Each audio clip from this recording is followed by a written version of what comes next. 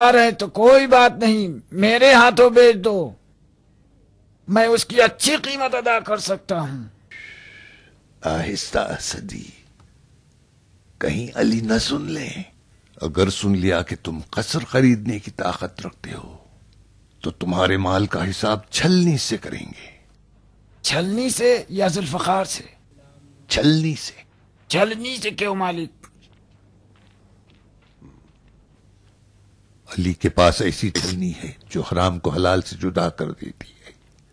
जिस माल पर शुभा हो, उसको उस छलनी पर डालते हैं। जो छलनी में बच जाता है, वही माल साहिब माल को वापस करते हैं। क्या छलनी इजाज इमामत है? हमने तो अली की अदालत मीजान से सुनी थी, छलनी से नहीं।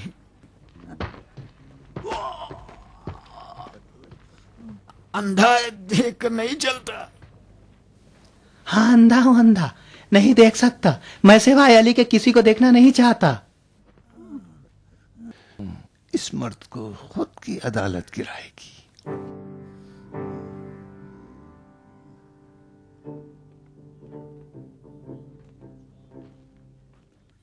रवाना हो रहे हो कैस?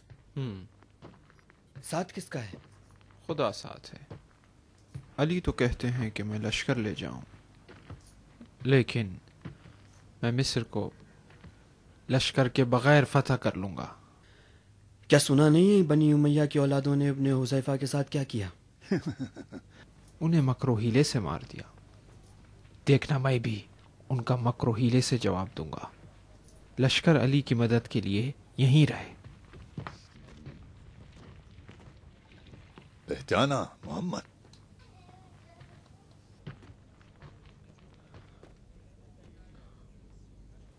उसके दो जुमलों में दो मन का वज़न था। मुझे उस पर एतमाद नहीं है। वो मिस्र को माविया के हवाले करेगा। अली के इंतखाब में शक न करो मालिक। ज़रूर कोई मसलहत होगी।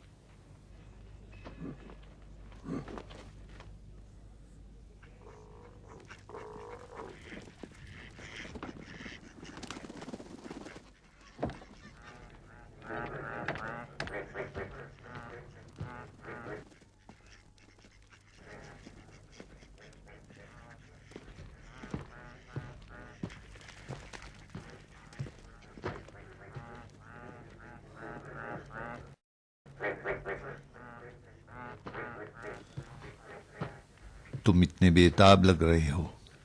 क्या बात है मोहम्मद? परेशान हूँ। लगता है मदीने की याद है। तब से परेशान हूँ। अकील या ठोकर खा रहे होंगे या फिर कहीं उनके असा ने खता की होगी। गड़े में गिरेंगे या कुएँ में। गिर जाएँगे अम्मार। दिन रात बाबा से तकाजा करते थे कि बैतुल माल से उन्हें कुछ सरमाया दें। ताकि वो उससे कुछ तिजारत कर सकें। यकीन नहीं आता। जाके सुनो अम्मार यकीन कर लोगे।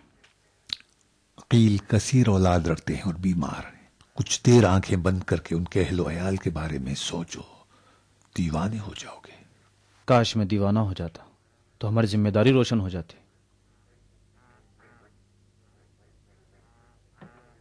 आ गए।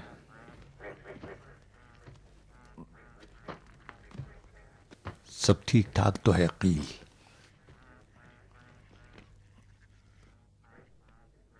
क्या पूछते हो, अम्मार? खुदा का शुक्र। आँखें खराब है, उसकी मर्ज़ी। जूतियाँ फटी हुई हैं, पर हैं तो।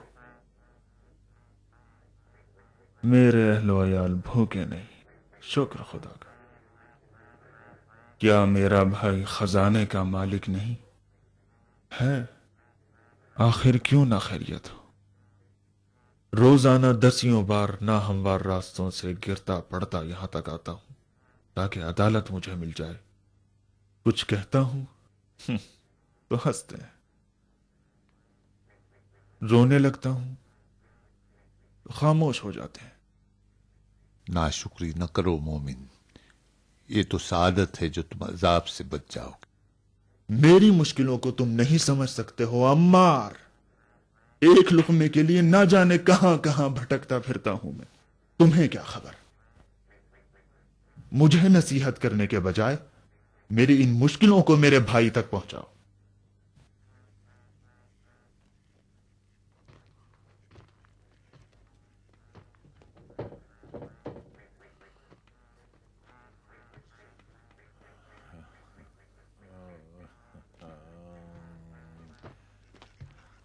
क्या हुआ मुआकिल खामोश। ये सीधा साधा अकील अगर अपने भाई की खामोशी को आता ना जाने तो फिर क्या करे? अम्मू जान उसी आम शहरिये पर कनात कीजिए। ए, क्या फालतू की बातें करते हो? अली से मैंने मिस्र की हुकूमत तो नहीं चाहिए अली का करम तो मशहूर है।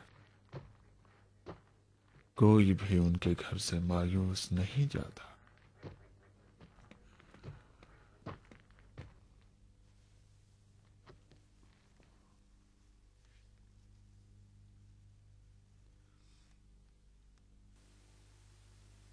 मेरे मौला, मैं जानता हूँ कि अकील की बीमारी को लिहाज रखा होगा। मैंने देखा है कि वो आजकल परेशान है। शायद उनकी दरामद, उनके अखरजात को पूरा नहीं करती है। लिहाजा अगर मुमकिन हो तो उनकी तनख्वाह में कुछ रकम बढ़ा दीजिए।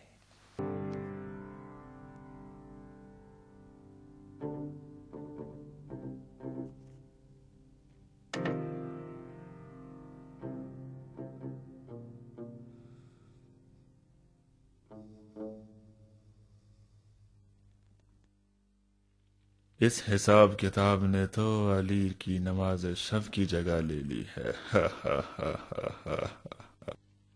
बड़े मशगूल नज़र आते हो। महसूलात का पल्ला अखराजात के पल्ले से तो भारी ही होगा। खुदा का शुक्र।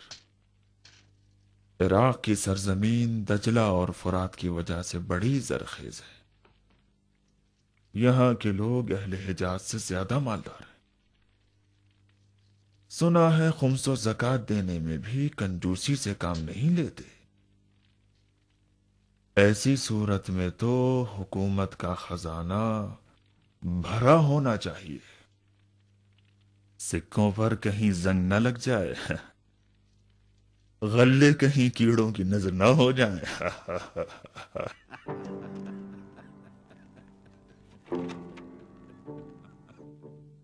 खुदा तेरे दिए और ना दिए पर शुक्र। शुक्र के आले हाशिम को अपनी ज़िंदगी में मालदार देख लिया। अगर खुदा चाहे फकरो फाके के अयाम अब तमाम हुए।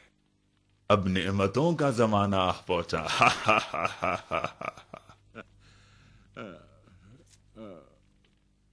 अच्छा तो भाई अली कल अलसोब मैं मदीने जा रहा हूँ। अगर कोई काम, कोई पैगाम, और और इन सबसे ज़रूरी अगर कोई तोहफा हो जो इस नाचार भाई के लिए ज़्यादा सफ़र बन सके।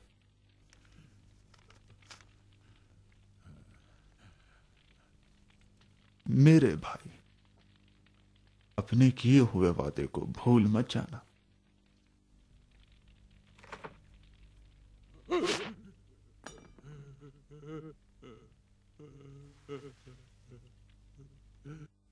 मुझसे पहेलियाँ बूझते हो?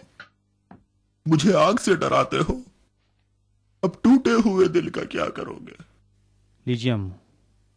अम्मू ये लीजिए। हराम है हराम अगर तुम्हारे दिए पर एतमाद करूँ। आपके लिए बनाया अम्मू। कहो अम्मू जलील।